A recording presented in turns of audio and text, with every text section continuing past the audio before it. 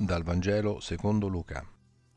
In quel tempo l'arcangelo Gabriele fu mandato da Dio in una città della Galilea chiamata Nazareth a una vergine promessa sposa di un uomo della casa di Davide chiamato Giuseppe. La vergine si chiamava Maria.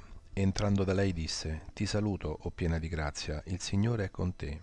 A queste parole ella rimase turbata e si domandava che senso avesse un tale saluto. L'angelo le disse, Non temere Maria, perché hai trovato grazia presso Dio. Ecco, concepirai un figlio, lo darai alla luce e lo chiamerai Gesù. Sarà grande e chiamato figlio dell'Altissimo.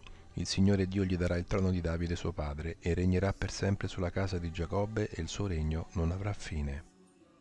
Allora Maria disse all'angelo, Com'è possibile? Non conosco uomo. Le rispose l'angelo, Lo Spirito Santo scenderà su di te, su te stenderà la sua ombra la potenza dell'Altissimo. Colui che nascerà sarà dunque santo e chiamato figlio di Dio. Vedi, anche Elisabetta tua parente, nella sua vecchiaia, ha concepito un figlio, e questo è il sesto mese per lei che tutti dicevano sterile. Nulla è impossibile a Dio. Allora Maria disse, Eccomi, sono la serva del Signore, avvenga di me quello che hai detto. E l'angelo partì da lei.